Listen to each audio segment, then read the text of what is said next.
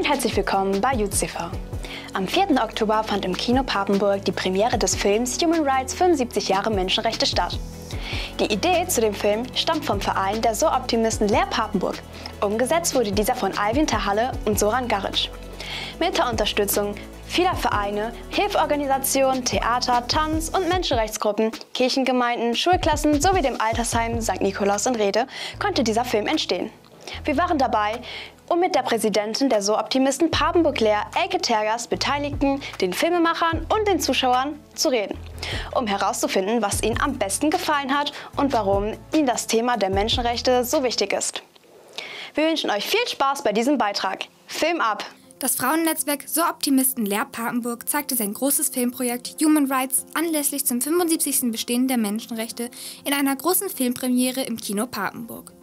Über ein Jahr arbeitete der Service Club an dem Werk, an dem sich über 300 Menschen aus der Region beteiligten. Auf den Dreh haben wir uns vorbereitet, indem wir uns ganz lange Gedanken gemacht haben, was unser Beitrag Geschwisterlichkeit sein kann. Dann haben wir Brainstorming gemacht, wie unser Beitrag aussehen kann. Und äh, dann haben wir uns letztendlich getroffen im Garten von einer Clubschwester. Und ja, so nahm das alles seinen Lauf.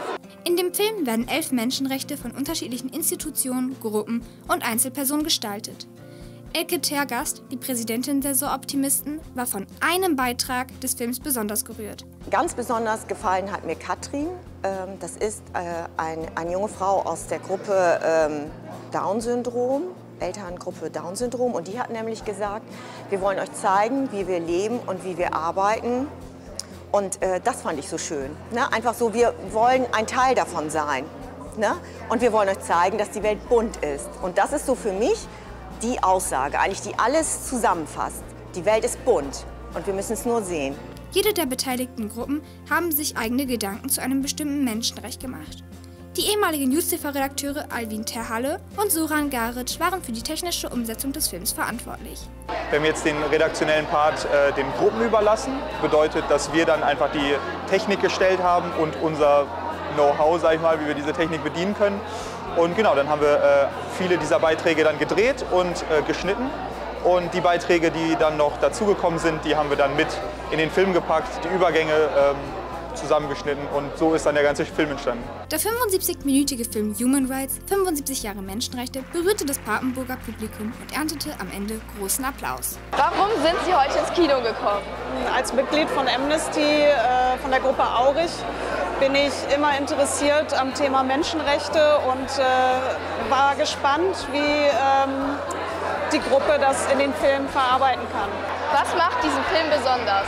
Äh, was ihn so besonders macht, ist, dass er mit so vielen sehr unterschiedlichen Menschen auch zusammenarbeitet. Man hat einen super spannenden Einblick in die Arbeit von Menschen. Das ist total künstlerisch auch dargestellt. Also auch äh, total spannend aufbereitet. Nach der Premiere gab es gleich mehrere ausverkaufte Vorführungen in den Sälen der Mukli-Kinos Papenburg und auch in Leer fand der Film große Beachtung beim Publikum.